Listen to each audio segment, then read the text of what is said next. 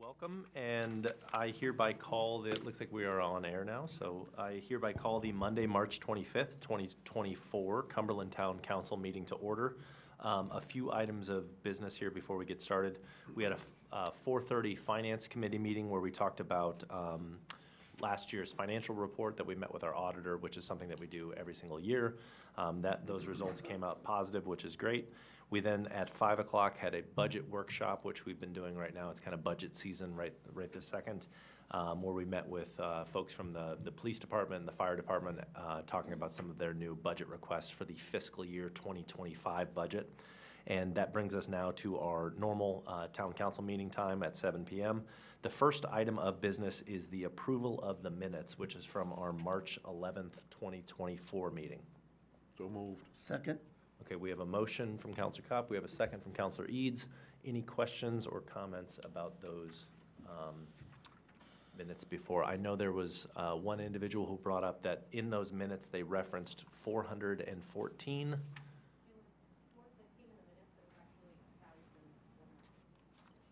Okay, so, yeah, is it, you got that? Okay. Should be, yeah, add a thousand to that number, one thousand four hundred and fifteen to those. Um, apart from that, I did not see any other issues or questions from the, from those minutes? Okay, all those in favor? Unanimous, missing Councilor Filson.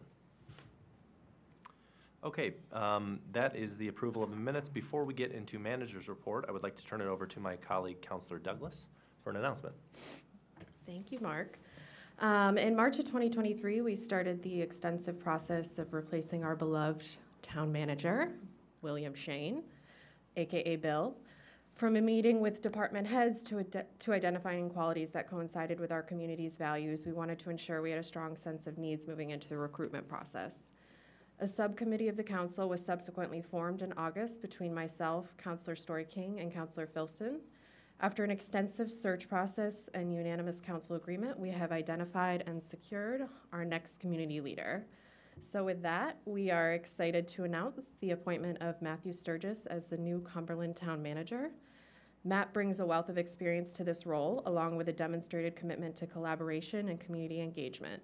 We are confident that his expertise will be invaluable in managing our town's affairs and fostering positive relationships with all community stakeholders.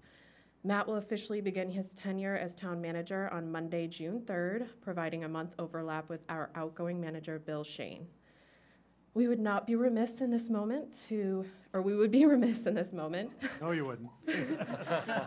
not to acknowledge the remarkable contributions of Bill Shane, and we do not say that lightly, who has been an absolute cornerstone of our community.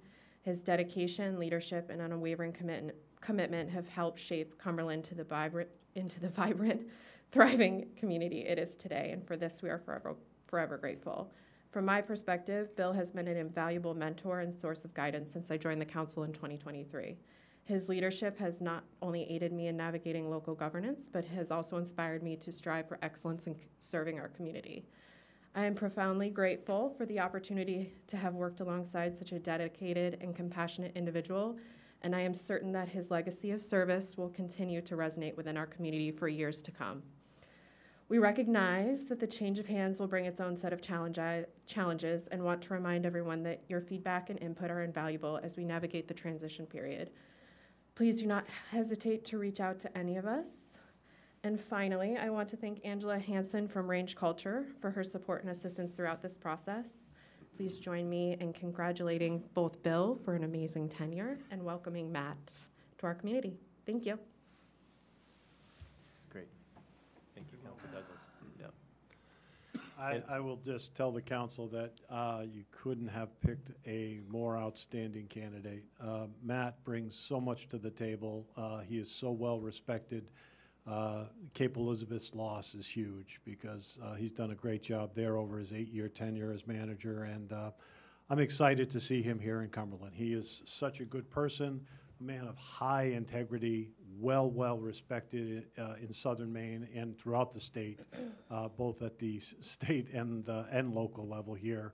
And he's got, he got, comes with a good, um, good background. He's a, a former department head as a- an assessor when we're going a reval. He's going to be a great help for John Brushwine. Uh, you- I- Congratulations. I was just, just su- super overwhelmed and really happy that uh, Matt rose to the top and uh, he was selected, and uh, you will not regret it. He's just a good, good person. So I'm really, really happy about that. So thank you for that. It Makes my exit much easier, and uh, it'll be absolutely seamless. He's a great person, and you will be very, very happy with uh, your selection. Um, um, With that, um, we've had a tough couple of days. Um, I would first like to thank um, our Public Works Department, our Fire EMS, and our Police Department for just an outstanding performance in the last three days here. It has been nothing short of just, you know, Ice Storm 2 once again, and it seems like, you know, we're not getting out of this cycle. And uh, um, our first, uh, our first uh, part is trying to keep the roads open, trying to keep our uh, uh, public safety vehicles on the road. And uh, our highway crew did a job second to none. I just am so proud of them and so proud of their commitment. I mean, 30, over 36 hours of plowing and then getting out and jumping with, uh, with side by side with uh, uh, Dan and Chip's crew on uh, chainsaws and moving, moving stuff out of the road. And uh, it's just not easy to do when you've been in the back, in the seat of a truck all day. And then the fire and EMS and police jumping from, you know, emergency to emergency was just, it's what we do probably best in this community. I would tell you, working as team, the, the three departments work so well when we get into a crisis. And those guys make a crisis just look like an everyday event to them because they're so good. Um, This building is the building of the people of Cumberland, and it shall stay open as a warming center until the last power is restored. So we're open twenty-four seven. We don't close at six o'clock or eight o'clock. It's, you're here. I was here last night about nine o'clock chatting with a bunch of people. We were trying to figure out the television and all that stuff, but it's been, uh, it's been interesting. I would say we've had about fifty people per day since, uh, since Saturday, since Sunday morning, uh, that have been coming in here, and mostly to just charge their, uh, devices and hang out and get coffee. We had a big coffee crew in here this morning waiting. They they drained the coffee pot in like less than an hour, so I had to go back and refill, but that was great. So it has been fun to see those who've come out, uh, to just see what it's all about. Some are just checking out this, uh, the center, but it will always be here. If we're out of power, or if we're in a state where we've got to provide this as a cooling center, um, the, it's, uh, it works great as a cooling center, doesn't it? It really cools down quick, but, uh, warming center, not so much. Uh, but, uh, for us, uh, for us, it has worked well, and, uh, the doors will stay open twenty-four seven until the last person, um, is, has their power back, and that has been pretty standard for us for a long time, and I, I'm, I appreciate your support as a council to continue that going forward, and it's, I think it's meant a lot to the people in your community. So, well done, and thanks for the support there. Uh, Right now, I'll turn it back to you so we can get on with the agenda, but um, uh, thanks to the crews. Uh, Long, long weekend, and uh, uh, a lot of missed hours of sleep for many of them. Yeah. Well, thank you, Mr. Manager, and thank you for your leadership on this, too. I really, uh, seeing those posts come out, seeing the texts, the emails about this being open, town hall being open to anyone was really, I think, a calming, calming message for everyone, so thank you for doing that. Um, Okay, so that concludes manager's report. We are now moving into public discussion. Uh, Public discussion is for comments on items that are not on the agenda. Comments are limited to five minutes per person. Rebuttal comments will be limited to two minutes. Public discussion topics may be brought up again under new business for further council discussion. Is there anyone from the public tonight that would like to address the council on an item that's not on the agenda? Please, if you don't mind just stepping up and saying your name and where, you- where you So I'm live. Melissa Gattine. I'm a resident of Main Street, 325. Um, and actually, I'm bringing up something that I know Bill brought last year. I just want to kind of get it on people's minds again about brown tail moth. Um, last year, I had approached Bill about the idea of looking at lighting on Main Street to reduce moths uh, being attracted to the Main Street area. And I believe he reached out to the state and found out that that is actually an effective strategy for reducing brown tail moth. I am somebody who is very reactive to it, and um, I don't have any types of trees on my property that host it, but I had a ton of brown tail moths all over the front of my house Um, So I would just appreciate it if that's something that could be brought back up and looked at as an option for the town. Um, I'm also going to go to the school board because I know that you guys can't control what the school does with their lights as well, but I'll do that too. So I just wanted to put that out there. Great, thank you, Melissa, appreciate it. Is there anyone else from the public that would like to address the council on a topic that's not on the agenda tonight? Please.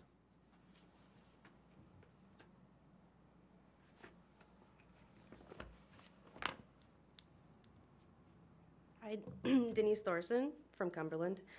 Um, another affordable housing factoid, since I do this now. Um, just if, if anyone hadn't heard, uh, Governor Mills signed LD 337 into law, which amends um, the regulation of manufactured houses to increase affordable housing opportunities. And so this is another thing now available um, Maine-wide that hopefully will be used in our town to increase affordable housing um, within already developed neighborhoods, because I, I feel like that's ideal, um, especially with lot splitting, um, being able to place, we've talked about ADUs, but also, um, a manufactured house on there to either rent out, help people pay off their mortgages, kind of like a symbiotic relationship, but, um, that is a thing now, so not only ADUs, but, uh, smaller manufactured housing is now available or able to be built on any lot where a single-family unit is allowed. So that's freed up things quite a bit. So just keeping that all in our minds is when we're thinking about affordable housing and housing variety in town and building where we can already without having to necessarily put in large developments, which obviously, um, based on the referendum, is not something that people want. Um, so keeping these other things in mind. So that's a thing now. That's all I got. That's great, thank you, Denise. Is there anyone else from the public that would like to address the council on a topic that's not on the agenda? Okay, seeing none, I will go ahead and close public discussion, and we will move directly into legislation and policy. The first item on the agenda tonight is twenty-four 21 to hold a public hearing to consider and act on a liquor license application for Fast Track Investments LLC operating at the Cumberland Fairgrounds. Um, It's my understanding this is a new application, um, and it's for all different types of uh, alcoholic beverages, so malt, wine, spirits. Uh, Uh, Mr. Chairman? Yes, um, I please. did talk to, uh, at your request, I did talk with Lyle Merrifield about this at the fairgrounds. Uh, He was in total support of this application. I also did request that Mike Cianchette come tonight to talk to you directly about uh, exactly what they're going to do. And um, Mike is here and be, be happy to share the, how we got here and uh, what, what the plans are, because I think they've done a phenomenal job uh, with what they've done at the fairgrounds to date. Lyle was nothing but effusive in his praise of the operation and, uh, and how things have been going. So, Mike, if you wouldn't mind updating the council on how we got here. Sure, thanks, Bill, and, and thanks everyone for, uh, for having me tonight. So yeah, Mike Cianchette, I've, I've been here in, in various facets over the years. Pine Jakers over on Winn Road, as a citizen, uh, former citizen of Cumberland. I, I don't like to admit it, but I did cross the line and reside in Falmouth now. Uh, uh, Mike Edes has already threatened my life, but I persevere nevertheless. Uh, but I'm here today as manager of First Tracks Invest, First Tracks Investments. Uh, that was a typo on the agenda, I believe, uh, LLC. So as several members of the, uh, of the council know, a few years ago, uh, after the closure of Scarborough Downs, uh, we decided to try to maintain Maine's harness racing heritage and uh, work closely with the Cumberland Farmers Club to uh, bring commercial year-round harness racing uh, to the fairgrounds, uh, in addition to the traditional fair meet. Uh, So just to, to give a little bit of flavor of that, and then I can discuss about, I can discuss the, the reason for this application this evening. Uh, But over the past three years, uh, we've had significant growth uh, in interest and in uh, what's called handle, so wagering activities on horse racing in Cumberland, Maine. And just to give the council and, and everyone some context of this, a lot of uh, our initiative was focused on what's called simulcasts. So sending Maine racing out around the world uh, for audiences, every legal jurisdiction in the United States, all Canadian provinces. Uh, I think we're in 16 EU countries, South Africa, Australia, New Zealand, the Caymans, Jamaica, the Bahamas, all of South America. And uh, to give you a sense of what the interest is for harness racing in Cumberland, Maine, around the world, last year on 51 race days, over or nearly $7 million were wagered on races in Cumberland, Maine. More than 90% of that's coming from out of state. Uh, so the idea that harness racing is this, uh, you know, woebegone sport that no one cares about anymore is certainly, I believe, not true. Uh, and we've had, like I said, a lot of success over the past couple years uh, reinvigorating the sport. There's a lot of optimism. Uh, there's a lot of support in Augusta for it, and we're going to keep soldiering ahead. For those who may have been up to the fairgrounds uh, last year or last uh, winter in November and December, you'd see a new uh, giant, essentially big screen TV that's simulcasting all the races. That is our new tote board. And one of the things we're very excited about this year is pulling together all six agricultural fairs that conduct racing. So Cumberland, Fryeburg, Skowhegan, Windsor, Topsham, and Farmington, and consolidating them under a single brand and leveraging everything we've built so far to get Maine racing around the world. Supports Maine's farms, supports uh, you know all the men and women at the Norton Farm over you know West Cumberland, West Falmouth that train standardbreds, all the boarders, grooms, drivers, owners, farriers, veterinarians, et cetera, et cetera, uh, that you know support the the sport and, and support much of Maine's agricultural heritage. So we're really we're really proud of that. We see we see fair skies ahead, and we're going to keep forging ahead. That brings us around to tonight's application uh, for uh, folks who've been on the council. There, this has historically been a renewal application. Uh, A gentleman named Matt Mattingly uh, previously uh, held a liquor license for this facility, and he, uh, he's actually since moved to New Hampshire.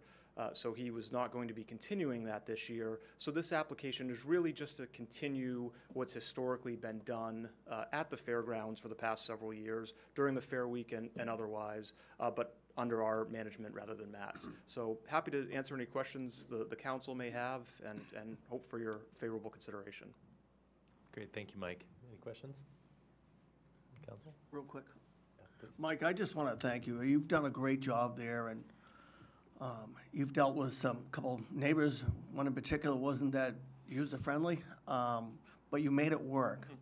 And um, unless, I, unless you've had complaints, Bill, I, I tell you, it's been a great, you, you offer good service up there, and uh, we're very proud of your operation. No, thank you. We're proud, we're proud to do it in Cumberland. I just wanted to take this opportunity for an ask to the public. I saw this on Facebook, so I'm going to extend it to uh, everyone who doesn't follow Facebook. There was an ask that if you are a dog walker on the Cumberland Fairgrounds, to keep your dog on a leash. And I think um, Mike has just articulated why it's so important to keep your dogs. These horses are high-bred sports animals, and um, having dogs running free around while they're training or working or even relaxing is not healthy for them. So, just a shout out to the public if you're walking on the fairgrounds, which they welcome even though it's private property, keep your dogs on a leash. How's that? That's excellent. Good reminder. A reminder. little PSA. Any uh, comments from this side of the council? I've read, I've read the application, it's complete, I'm ready for a motion. I will- want to know how you find farriers. It took me four, four people till I finally found one. The, the standardbred racing community is a very tight world, so Oh, the, uh, they, it's, you know, it's, jeez. a lot of people You're still. lucky. Yeah, they're very lucky, so we, but we've got, we've got a lot of great horses, and, and for anyone, you know, who's interested, we start back up, uh, April twelfth, three fifteen post time. You don't have to buy a ticket, you don't have to buy a, a ticket to wager, it's, it's a lot of fun, people of all ages enjoy it, it's, it's great Maine history, and we, we'd love to have you. Those animals are amazing athletes. They are. Any, um, before we move to a motion, this is obviously a public discussion. Is there any questions or comments from the public before we move on this item? Okay. Seeing none, I would happily accept a motion. I move to approve the liquor license application for Fast Track Investments LLC operating at the Cumberland Fairgrounds. First try. We have a motion, we have a second, and I believe that second should just be First Track Investment LLC. Is that Tracks plural? First Tracks Investment LLC, Investments LLC. Wow, we will get that right one time. Okay, we have a motion, we have a second. Any further discussion from the council? Nope. Seeing none, all those in favor? Okay, unanimous. Missing Councilor Filson. Thanks, Mike, appreciate the comment. Okay, moving on to the next item, um, twenty-four 22 to hold a public hearing to consider and act on a liquor license renewal for Flannel Shirt Food Company LLC, DBA Dara Bistro. I don't know if we have anyone from Dara here tonight, but this is a, what appears to be a pretty standard renewal for a wonderful restaurant in our town that I've frequented many times. Um, I believe the application was complete and there were no issues with it from my review. I don't know if anyone on the council has comments or questions about it. No? Anyone from the public have any questions or comments on this?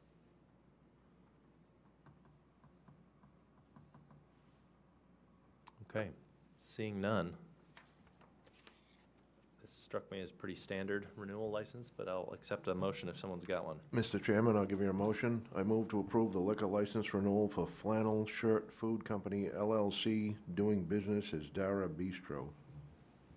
A second. Okay, we have a motion and we have a second. Any further discussion or comments? Anyone from the public? Nope. Okay, all those in favor? Unanimous. Missing Councilor Filson again.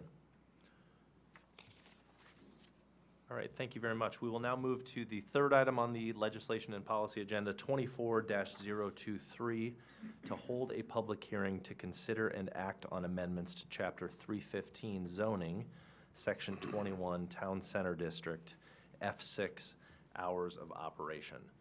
Um, Before we kind of move into this, I think it's kind of good to maybe level set on where we were and how we got here. Um, A few weeks ago, and other councilors, feel free to jump in if I'm missing any of the facts here.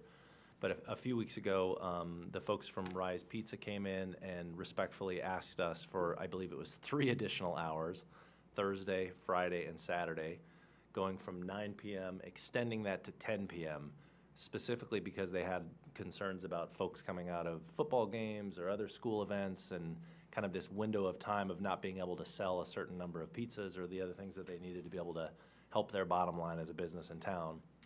And I think hearing that and wanting to be favorable and helpful to local businesses in town, us on the council maybe got ahead of our skis and uh, kind of started saying, well, 10 o'clock, maybe 11 o'clock sounds more reasonable. Do you need an extra hour?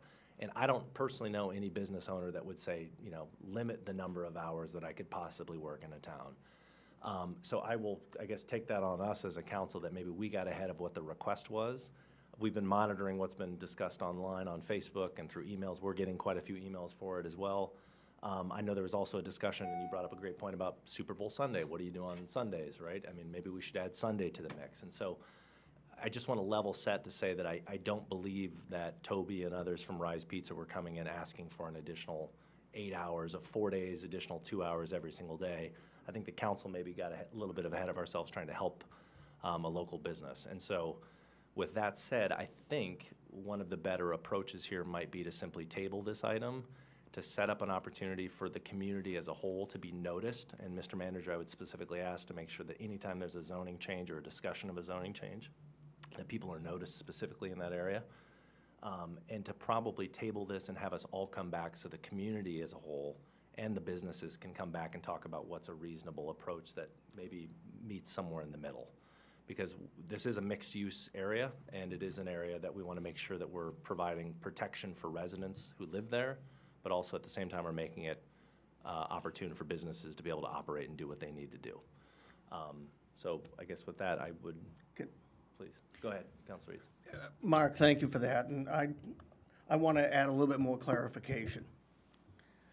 First off, it, it was not Toby that came to the council. I'm going to make that very clear. He did not come to the council. I was in there doing business. Uh, my wife and I really enjoy that restaurant a lot. Um, it, it is a Class A restaurant. Uh, we plan on going many times. But the point is, I was in there getting gift certificates one day. This is how it all came about. And part of my duties as a councilor is to see how a business is doing. And that's what I did. I, st- I started the conversation with Toby, and I said, how's it going? What can we as a council do to help your business and help your business be better? What can we do? And one of the things Toby brought up, and legitimately so, was on Friday and Saturday night, we, uh, when a basketball game or a soccer game or a football game is getting out, and parents wanted to pick up dinner for their kids and wanted to, I'm locking the doors. I said, well, that, you know, and, and I know it's a small business and we want to do what we can to help that business. So I said, well, let me take the ball, let me take the ball and run with it, not Toby, me. So my original idea was, to- I, I mentioned it at the council meeting, and I said, it doesn't make any sense that when all these people in the Cumberland residents are coming out, they can't get any food that time of night, it's crazy. Um, And we had a discussion, and we said, we'll bring it to the um, ordinance committee, which I'm part of. We discussed it, and we made the recommendation um, for Friday, Saturday night to bring it, to bring it back. And we had an 11 o'clock cap on it. We got in discussions, and I agree with you, Mark, we got ahead of ourselves on it. You know, we wanted to, instead of 10 o'clock, we wanted, we wanted to give it 11 o'clock. And then it was gonna be Thursday, Friday, Saturday, and Sunday. Um, I, I believe there's a good compromise here. I, I want Toby to capture all that business he can. It- he runs a Class A business, and I want to keep it going. Um, But I do want to make sure that, especially the people that are here tonight, I brought it forward, not him. And I'm glad I did. I fully support it. I will continue to support it, but he should not take the blame um, for this being brought. It's me. Yep. So I just want to make sure that's clarified. i Appreciate that. Yeah. Anyone else on the council? Councilor Vail? I'm not sure that I would, I would move to table this. I might be more inclined to move to deny the request, uh, and for, for two reasons. Um, We are getting ready to um, implement a comprehensive plan committee, and I would think that this would be one of the things that would come under that uh, re- review of, of ordinances and, and what goes on. And, and we certainly found that there was a lack of uh, protocol, if you will, in how we notify people for uh, change of zoning. And the fact is that there was no mechanism in place to notify the abutters. Uh, So that would certainly be something that would, either the ordinance committee would come back with, but I, I think in this case, the, the bigger, the bigger picture is the, the new comprehensive plan committee taking a look at this. Um, The other thing that, and I attended the planning board meeting, and I watched the comments, and um, um, certainly there was enough comments made that uh, uh, Toby needs to reach out to his neighbors and make sure that uh, when you ask for something, you, you have a good understanding that your neighbors are going to support you. And certainly, my feeling was coming away from this is that almost universal, there was, um, at least all the close neighbors had some sort of complaint about noise and lighting and, and things like that, so. And if I look at the, the, um, the email trail that uh, precluded that, there again was some, some instances of uh, lighting, and uh, it was addressed and things like that, but, so. um, I'm really more inclined to, to deny the request and then go back to uh, either the ordinance committee to, to look at that, but I think specifically, I think the comprehensive plan uh, is the, is the next step that the council will be doing, uh, uh, probably this summer, coming up with a committee, or appointing a committee for that, and uh, I think that's, that's the tack that I would take. Uh, However, if the council feels that a tabling motion is, is more uh, in line, I would support that too. That's my thoughts. Thoughts on that? I'll, I'll just add, oh, go ahead. I, I just want everybody to know that when this came up, it was brought up only Friday and Saturday night, and it was called weekend business. And I think I am the guy that is guilty of saying Sunday is part of the weekend, which in my mind, if you watch the Super Bowl, it's on Sunday. If you watch NASCAR race and it's on Sunday. This is typically what people go to restaurants and bars to watch. So it was not brought up by the owner of the restaurant to be open on Sunday. It was brought up by me, which made, only made sense because it was a weekend. Yep. Just want to make that clear.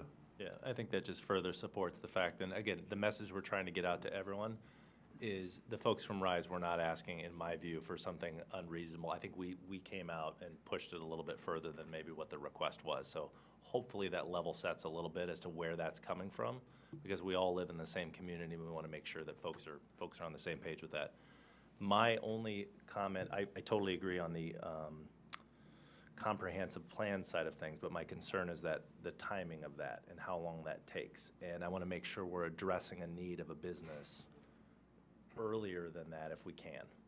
Um, because a business might not have a year or two to wait for a committee to form and look at these issues. And I think we can do them simultaneously at the same time. And so that's something I want to make sure we're, we're taking into consideration. So for me, a table would be appropriate.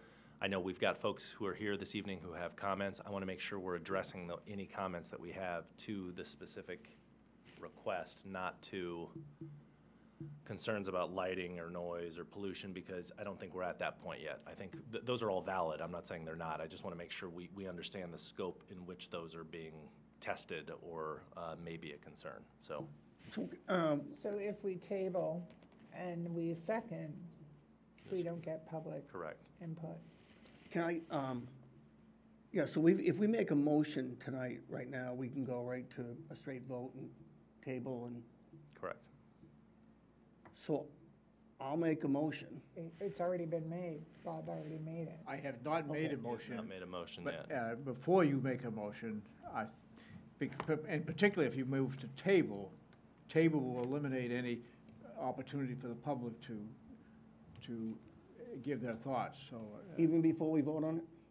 if you make the motion, that's, Once the motion is made to table, discussion ends. right, so I I would, And I so would ask you I- to I'm not hold that saying I don't want to hear public discussion, but I'm just wondering if this is the appropriate venue to do it. If we don't, as a council, plan on moving this forward this evening, it almost seems like we need to keep our powder dry, all of us collectively, to try to figure out what those comments are that we have in the appropriate venue so we can come out of that venue with something that's workable as opposed to just, I- I don't know if anyone here this evening has the desire to move Well, I just wanted forward to with something. also Please. yep. highlight, four of us were there at the planning board meeting, and their recommendation was ought not to pass.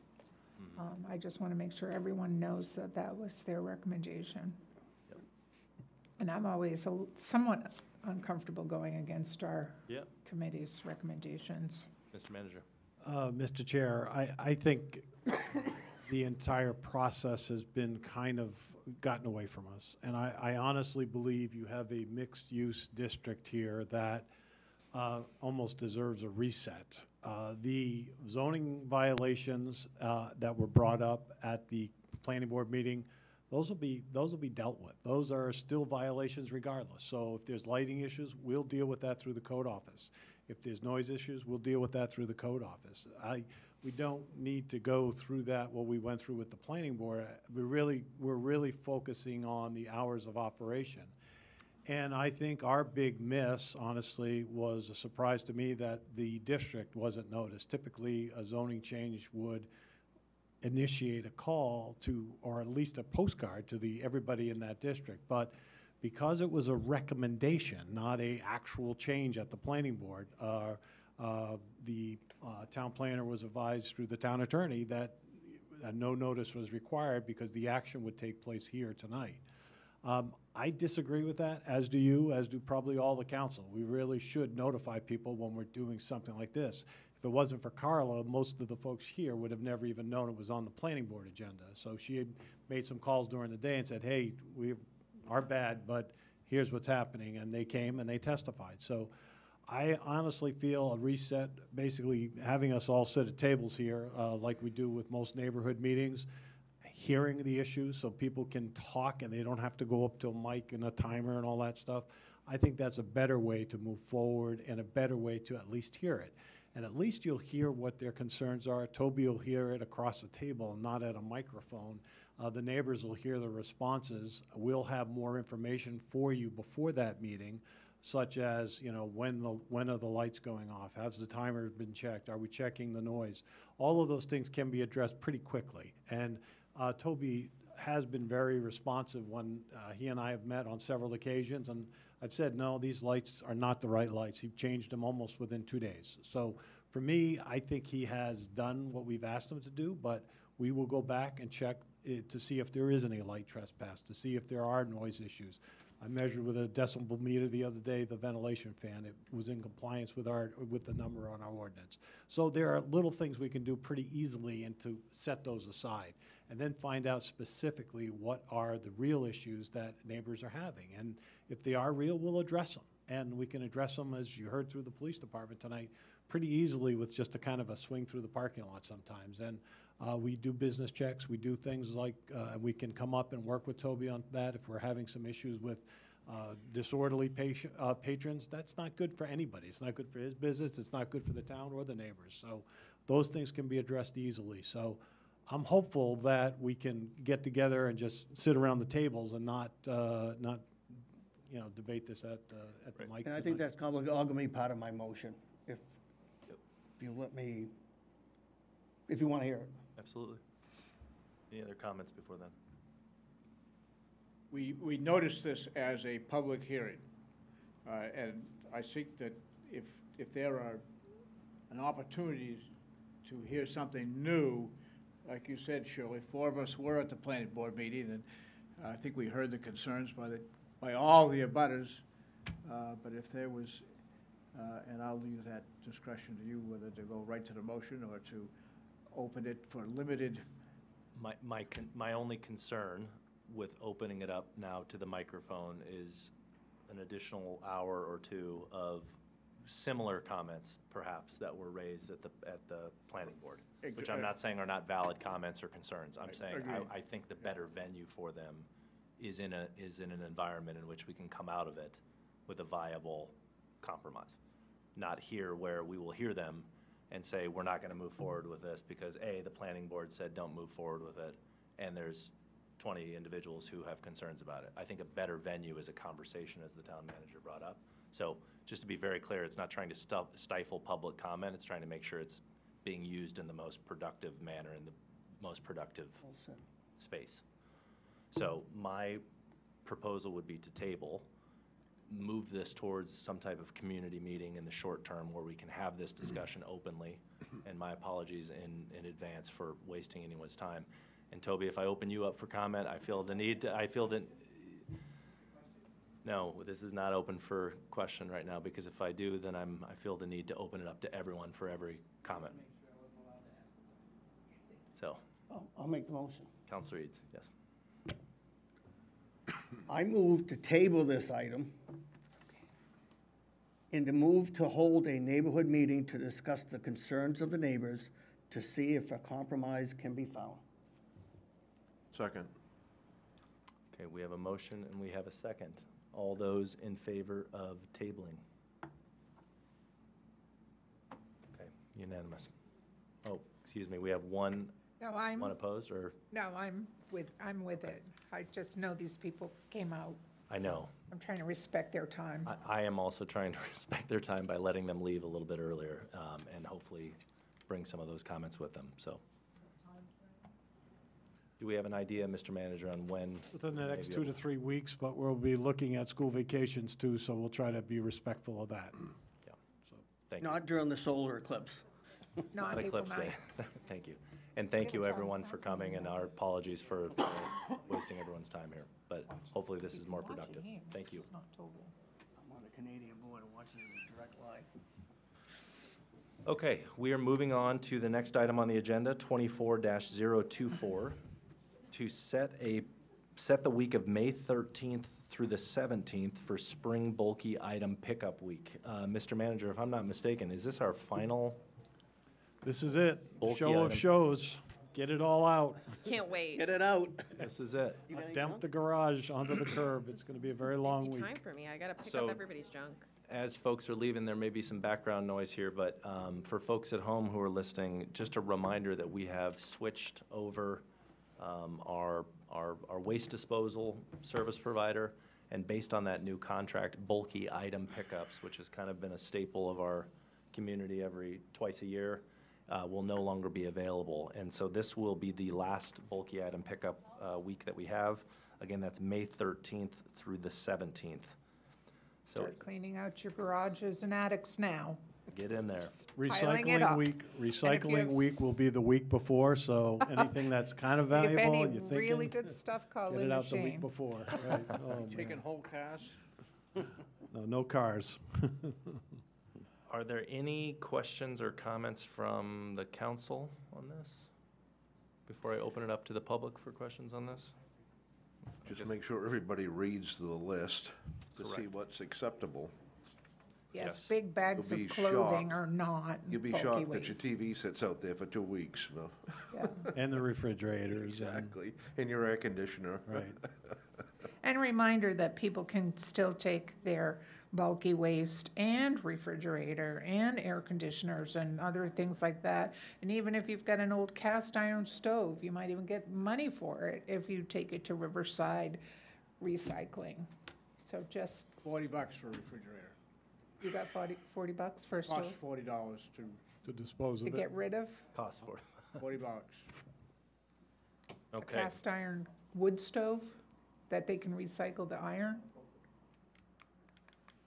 You'd be Metal. surprised how little They you have a get for good it. metal recycling. Schnitzer's will pay you for irons. Yeah. So the list of what you cannot um, discard and what you can discard will be pumped out through the crier and put on the Cumberland's Facebook page and uh, is in Weekly. our, weekly and is in our council packet this evening. So any um, questions from the public, comments from the public on this? Okay, seeing none. All those in favor to set that week? We've got a motion from council, oh, excuse me, I think we, do we need a motion first? I'll give you one. Okay, please, Councilor Cowell. I move to set the week of May thirteenth through the seventeenth for spring bulky item pickup week. Okay, we have a motion, we have a second. All those in favor? Unanimous. Thank you. Cannot wait for that week. Uh, The last item on the agenda tonight is to hear a report from the town manager regarding the Public Safety Radio Communication Project, which is twenty-four 25 Mr. Manager. Uh, Just briefly, because we really want to see uh, if we can uh, muster some of your support tonight, because we've had a very, very difficult time with this project. Uh, As you recall, we were all educated in radio communications around the table here just about a year ago that no one of us, none of us understood. Uh, Our expert came in and explained why we want to look at a microwave project um, for radio uh, cell towers. Right now, we have uh, three of those towers. We're missing two. Uh, The two towers that we, myself and the chief primarily, have been working on were going to be through uh, an outside vendor, and tho- that vendor would basically build the tower, pay us a fee for the uh, lot rental essentially, and we would co-locate on that tower with that uh, uh, company, regardless of who it is, AT&T, Verizon, T-Mobile, whoever, but somebody would come. We uh, went out for RFP, we received one RFP really at the 11th and a half hour. That person agreed to build a tower, and uh, we, we thought we were off and running. Shortly after that, uh, both vendors, the one on Range Way as well as the one on, in West Cumberland, uh, withdrew from the project and left us with no project, essentially.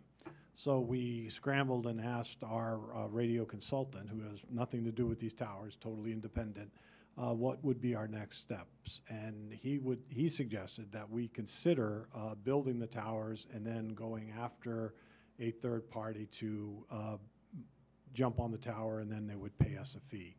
Um, Obviously, that's a risk. It's a risk, especially since we've had two vendors walk away from this. Uh, But we also have a need for public safety. And uh, what, uh, I'll let the chief explain the issues we're having with public safety and the radio communications that we presently have. But the risk is substantial in cost. Um, We estimated a $2 million project when we started this. It'll go to 2.7 million if we have to build both towers. So it's an additional 350,000 per tower uh, to push this forward. Uh, The offset to that would be revenues generated that we would hope to achieve by attracting a, a vendor because they didn't, they, we could go through the planning board process, uh, get the approvals and then get the towers built through a separate vendor and then most of that work would be done and they wouldn't have to do it, which would seem attractive, but there's no guarantee. So before we get too far down this road, um, this will come up again in your TIF budget discussions through the budget. So I just want to kind of, kind of set the table that we're not where we would hope to be today. Actually, we had hoped to be at the planning board last November with one of the towers on Rangeway when the uh, gentleman pulled out at the last minute. Uh, Right now, uh, Chief, if you wouldn't mind giving the council just an update of the specific pro- uh, problems we're having with radio communication, uh, and this is public safety. This isn't just police, this is fire EMS as well. So that would be helpful just to kind of remind them where we started, and then we can decide what's, what's next. Sure, thank you. Um, so, hard to believe I got hired here as chief June of 2016, almost eight years ago. And just before I started, I came to the PD to uh, meet some of the staff and take a tour and take a ride around town, and I met some of the employees. And literally, when I walked in and they found out I was the new chief, they stuck their hand out and said, Nice to meet you. When can you fix our radios? So, fast forward eight years later, and we're still talking about this. Um, I consider it to be a great failure of mine that I haven't figured out how to give our police, fire, and EMS radio communications from their mobiles in their cruisers and their fire trucks and their portables, which sit on their hips while they're out and about in town. There's coverage maps. I think they may be up on our website. We can get them to you if you need to see them. But there are locations in this town where our police officers and our firefighters cannot hear dispatch, and where dispatch cannot hear our firefighters and our police when they're out on calls. That is a danger to those public safety personnel, potentially to the members of the public that they serve. And it has been a very persistent problem that we've been unable to solve, primarily because it's a pretty big price tag to get it fixed. I wish it wasn't. Uh, Bill and I were flying high, and, and Chief Small, when we thought we had found private money to come and build these two towers, and then our house of cards just collapsed on us. So um, I can go into a little bit more detail. I asked Sergeant Ridge to be here. He spends a lot more time out on the road than I do if you have specific questions, but that's the overall picture. There are spots in town where we can't talk to dispatch, dispatch can't hear us, and it's a public safety risk. Eventually, somebody's going to get hurt, and that's on us. We need to we need to try to figure out how to fix it. Um, we we made a huge stride when we were able to hire um, our engineer with a grant that we got from uh, the federal government, and at least start figuring out what a new system would look like and starting to get some preliminary budgetary numbers. We won't know actually what they are until we go out to bid to see what the market's going to tell us that, that this all costs. And so um, I don't know, Bill, if that's a decent explanation or if I missed the Well, mark. you, uh, just bring us up to date too on where we are with Chebeague Island and, and the town of Yarmouth as well, because that, that has become almost a regional project with everybody participating, so that's worked real well too. Right, yes, um, thank you. So we've been working with Chebeague and with the town of Yarmouth on a project to um, get, right now, we have a bunch of our radio equipment, the fire department has a bunch of the radio equipment inside the Chebeague Fire Department. It's basically in like a mop closet inside the fire department. Uh, and to get that equipment out of the building and into a standalone structure, and then, um, and then work together to get our equipment combined on some, some uh, joint antennas that we would all be on, so that the amount of equipment that's up on that tower uh, doesn't overload the tower. So Chebeague has been a really great partner, Yarmouth has been a really great partner. We've all worked together with our engineer to, to try to get this sort of, I think, regional project um, up and running. That's part of the backbone that we're hoping to build through the town of Cumberland, and it's kind of wonky uh, geography that it has that requires us to have something on Chebeague, something somewhere around Rangeway, somewhere on, over on Valhalla, an existing tower, and then out in West Cumberland. And we're hoping that uh, shortly we'll be bringing an MOU back to the council for that joint cooperation with Yarmouth, Chebeague Island, and the town of Cumberland. Uh, It'll be sharing in future generators, it'd be sharing in future buildings. This is a prefab building, uh, we, like, like you see out back, the Hillview Barn style, where all we need is a wall, so it doesn't have to be anything fancy. It can be almost prefab before it even goes to the island, and then most of the work there is really uh, pretty simple. So uh, this has been a pretty good project. Chebeague Island has been a great partner and uh, has been uh, really helpful. Uh, the, uh, Chief Monroe, who many of you know, Ralph Monroe, good, good person to work with, uh, he's been great. And I think yeah, this just shows you we've got still good collaboration going on, except we just can't find, basically people to work on these towers.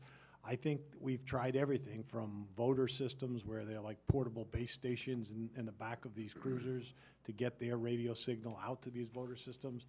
Doesn't work. And the maps that uh, Norm brought us when we were sitting around the tables here kind of showed you those gaps in coverage all around the town. Those would be eliminated uh, with these two additional towers. So I- I don't know if um, this will come up again when we go through the TIF budget, but I just want to kind of plant the seed to start thinking about that. Um, Chief Rumsey has been uh, back and forth with, uh, is it US Cellular or T-Mobile? One of those vendors that had, again, expressed an interest because uh, we are, we know we have to permit the Rangeway site on town land, so we're moving forward with that at the planning board. And we're hoping that just getting through that planning board might get some excitement going. Uh, We're also trying to redesign that. They, they brought a large, large road in that went, I don't know, seven or 800 feet back because of a setback issue with a potential vernal pool, and we're, we're dealing with that this spring, see if we can shorten that up and basically pull it forward and really reduce those costs. So we're doing our part to try to encourage a dance partner to come with us, and if we can get that and get them to build the tower and get us on it, that'll be huge. That'll be one of the two.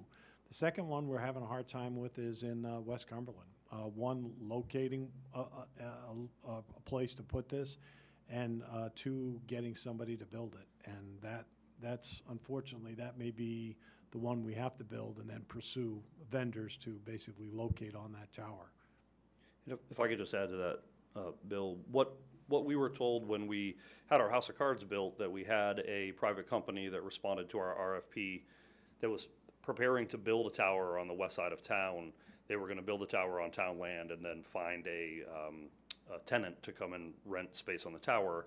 And then a, a cell company that was going to actually build a tower for us on Rangeway and allow our public safety equipment in there. And that all collapsed because of um, sort of a general malaise in the telecom market, is what they told us. Like things, things just took a turn. There, there had been billions of dollars spent in trying to build up 5G, and then their business model was expand and contract, expand and contract. And we actually were just about to cross the finish line and get a land use agreement signed for Rangeway. Had it been signed, they would have been locked in. They would have had to go forward. We probably missed that by 30 days, maybe. So, so what they're saying is that eventually the market will turn and these cell companies, all of them, are gonna need space on more towers. We just don't know if that's six months from now, a year from now, eighteen months from now. My fear is that if we take the position, we're, we're gonna wait until the market turns, then the officers and, and firefighters and EMTs we send out in the community, they're still just hanging out there without the support that they really need to be safe. So that's, that's just my fear, that will be ten years instead of eight, that we haven't really tackled this problem. Random question, Bill. Is there a tower in the Congregational Church steeple? Is that like an approach we could take? I don't know if this solves any of this problem, but in the West Cumberland Community Center, could we put something comparable? Uh, We, we had a, a tower on that lot, and that would have been located on that lot on a, on like a 50 by 50 swath. Yeah, I Uh, feel like we talked about that. We tried to go off-site a little bit, just so we wouldn't impact the recreational space out there, and Yeah. that has not been successful. We may end up back there. Okay. It doesn't have necessarily the height, you know, the nice thing about what I understand, the, the, uh, cell equipment that's in the church is it's hidden inside the steeple. Right. I don't think there's a building of the necessary elevation out on the west side, so it would be a tower. Yeah, okay. Councilor Storey King? My question, I just had a quick question. You don't, didn't get the sense that technology's changing, that that might be what their reluctance was about, or, because I hear about, like, you know, s- different kinds of cellular phones, especially when we had the power outage. I, I got nothing. I couldn't even make a call out. Um, No, nothing that has been mentioned to us. The, um, the two gentlemen that we spoke with, that we were working with on the east side and the west side, both said, we've been doing this for many years. This is what we see. It expand, it contracts, it expands. Uh, and, and sometimes those people that Okay. we've been talking to have been getting laid off just because of the way that the, the market is going. But they think it'll come back. The, the, the big question, the million dollar question literally is when does that happen? Chief, um, or Tony, is Blackstrap uh, the Blackstrap Towers, are they available for us? Are they, uh, consideration? I know the state police has a couple of repeaters on there. Um, It's a high, but I would almost think it would look down on West Cumberland. The answer to that question is, I don't know off the top of my head. I feel like it may have been, or this is, this has been going on for several years now. I do know, uh, I do, I I believe I'm accurate in remembering that it's very extremely expensive to be on there, but expensive compared to laying out half a million dollars to build a tower. I can certainly get an answer for you on that. Great, thanks, chief. Councilor Just a comment, Bill, on if the town did pursue putting up a tower up there, I mean, I can take you around town and tell you where my cell phone goes dead. The bottom of the hill by the fairgrounds, the bottom of the hill by the board barn, just beyond the railroad tracks here. I mean, there's a whole host of issues.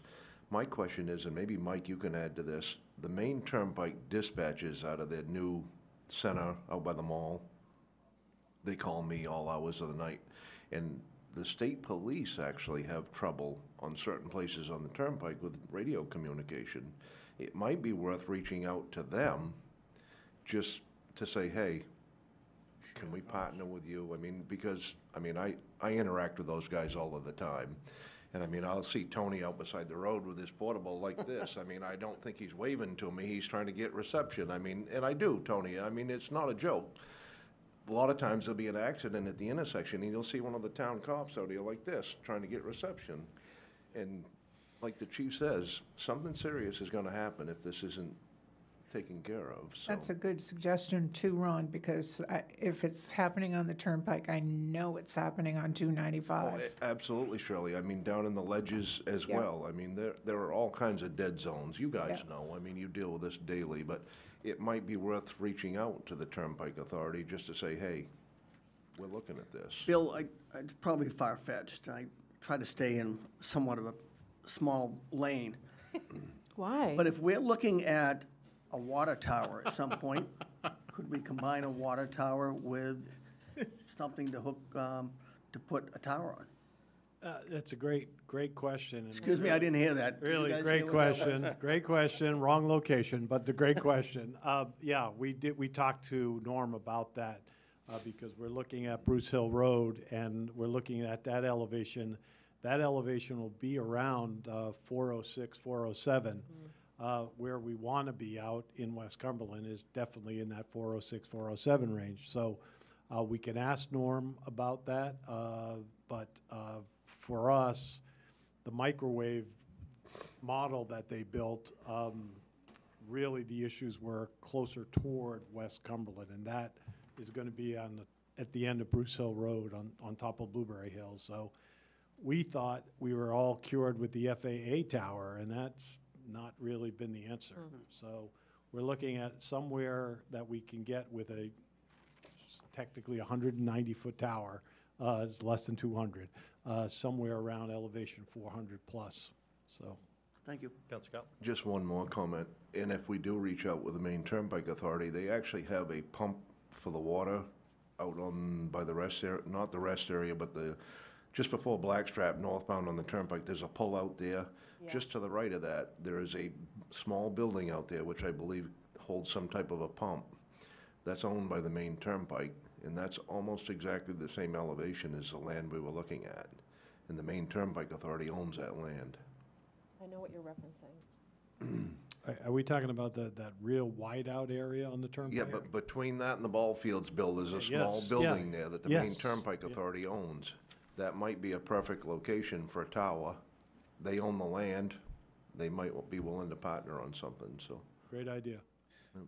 Councilor Copp, when you mentioned the dead zones by the board barn and then um, down south on Route 100, Yeah. that was why that West Cumberland site got selected, because it would close a bunch of those dead zones in there, and why the um, company that bid on that RFP to build a tower, why they thought a cellular company would go up. Oh, you mentioned um, past the fairgrounds, so I drive there twice a day, and if I'm on, the- uh, if I'm on a call, I will pretty reliably lose it somewhere around the intersection of Skillin Exactly. Road and, uh, and Blanchard.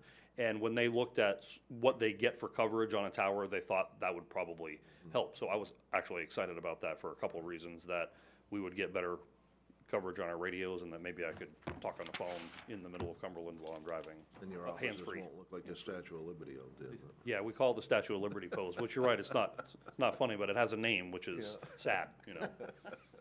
Councilor Douglas. Um, I just a sidebar comment.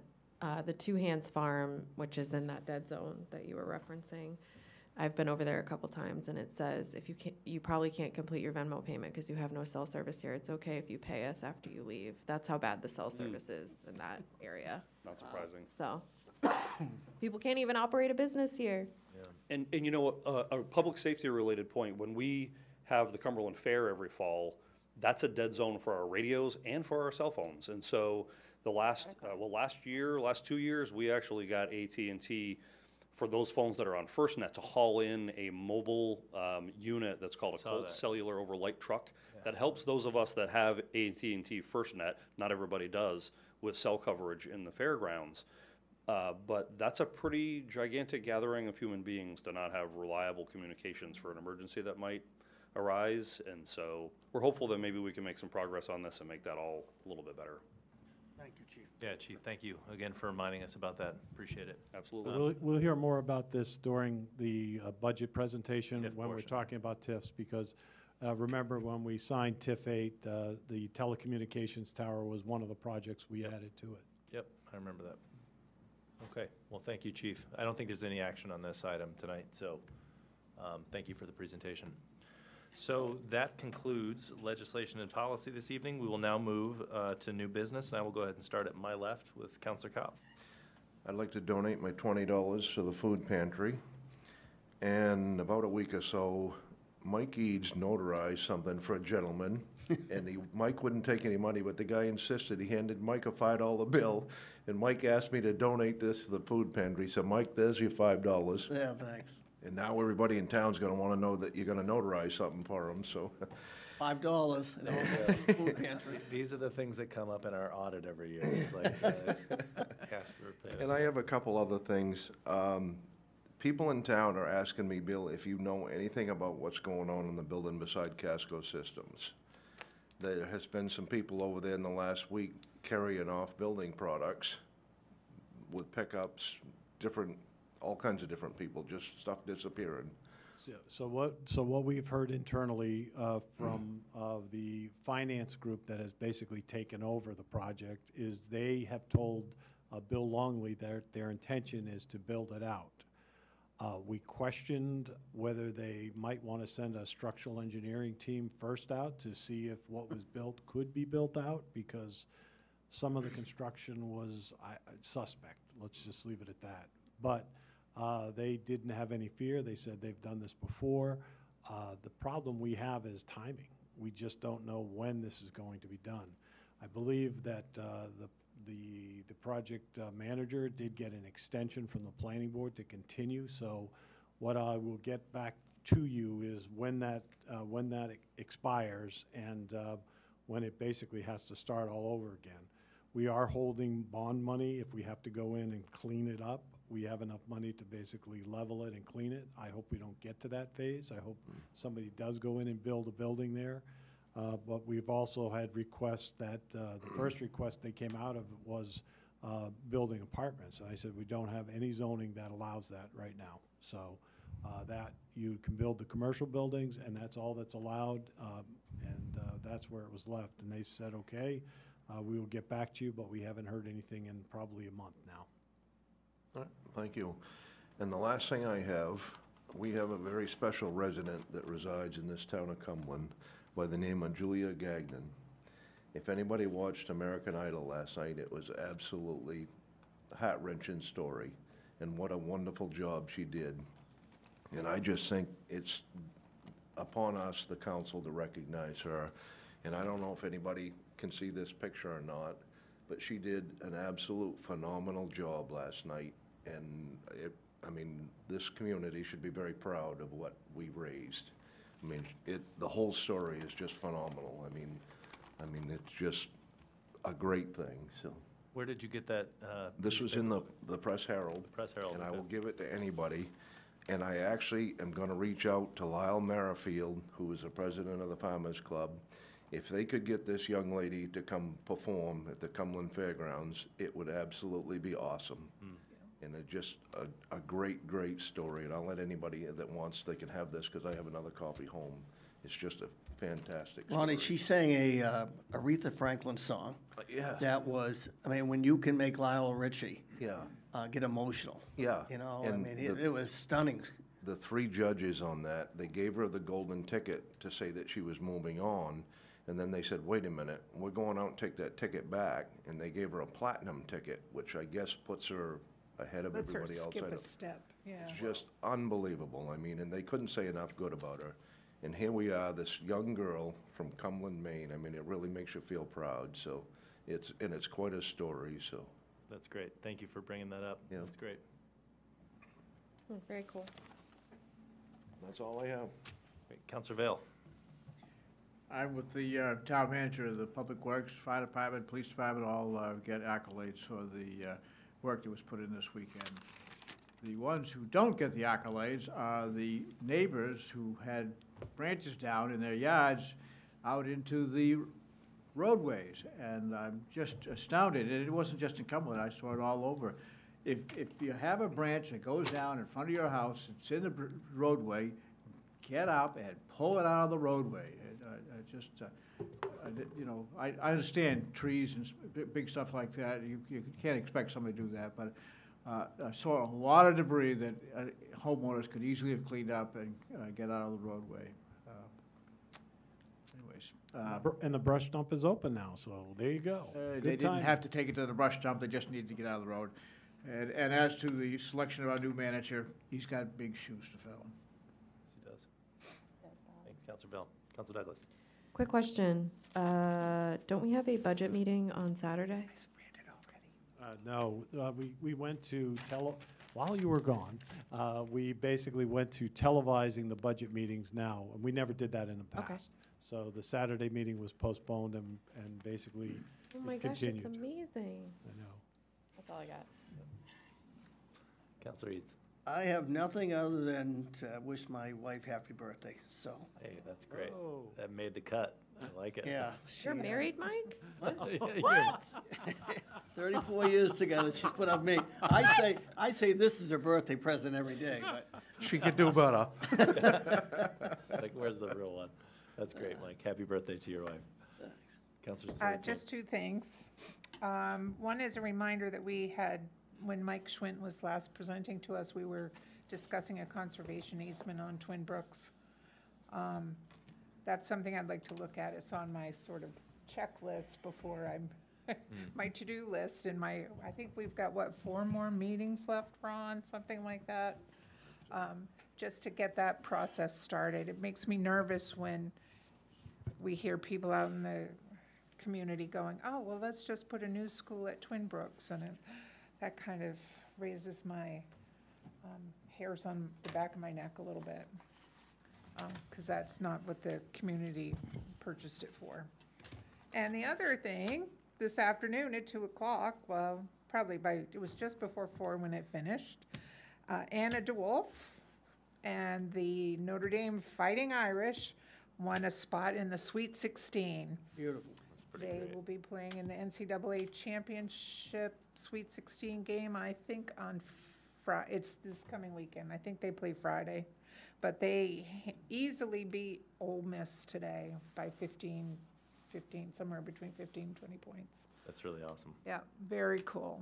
Because you look at Anna and she's not, I mean, she's, you would not peg her as an NCAA all-star or whatever, and she's just a phenomenal player. Kid can move the ball. She can move the ball, she can pass like no one I know. So, and she can score. I mean, she's, uh, she's consistently up around twelve points a game, somewhere around there. Yep, so, good luck, Anna and the Irish, and that's all I have. That's great, thank you. Unlike my uh, Nebraska Cornhuskers, who made it to the tournament and once again are the lar, I think the only team from a major conference that is still yet to win an NCAA first-round game. And my son asked me, he goes, well, how long have they had a basketball team? I said, only since 1896. So it's, uh, Awkward. we're struggling, yeah, it's Still not time, great. still Yeah, still time. Um, the only thing I have is just a reminder on the budget workshops that you just brought up, that we do have, uh, budget workshops on April eighth, and then also on April twenty-second, and then on May thirteenth, the town manager will be doing a, a, uh, budget presentation, and then hopefully we'll have a budget adoption, uh, that night as well, but I'll turn it over to you if you've got Uh, a. Just something to add. quickly, um, thank you, uh, Shirley, for all the comments you've submitted so far, but please don't hesitate to send any comments you have as you go through the budget. It's really helpful for us to prepare for these meetings. Uh, Before you tonight, you also have some documents related to the budget to show you the 10,000-foot view, to show you there's a lot of support information behind it, but it's really the first two or three pages to look at. It's the two pie sh- pie shapes there in front of you. It shows wages and benefits and then all the other categories we have in the budget. So kind of where we started last year, just to give you a, a- an idea of where the increases were.